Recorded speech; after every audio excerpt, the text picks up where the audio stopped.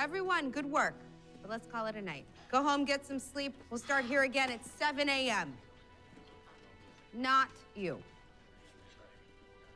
Those people are working their butts off for you. Then we need better Or people. we need a better candidate. Screw you.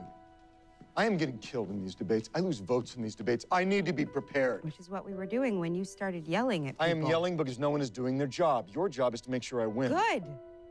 I was worried you thought my job is to get felt up in elevators by my drunken candidate. I'm sorry about that. You know I'm sorry. Do you even want this? What?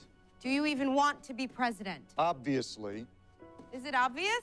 I'm running. You're running like you're being chased. You're not running like you want to cross the finish line first. And so I'm asking you, do you want it? Or are you just wasting everyone's time and money and energy and faith and hopes and dreams? I want it. Why? Liv. Why do you want to be the president? Okay, Olivia. Why? I don't know what you want me to say. That's your problem. You're always trying to say what you think everyone wants to hear, be what you think everyone wants you to be, and I should have caught it before. I would have if we weren't.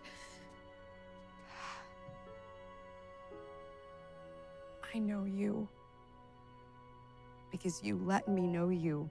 But America has no idea who you are because you've never let them know who you are.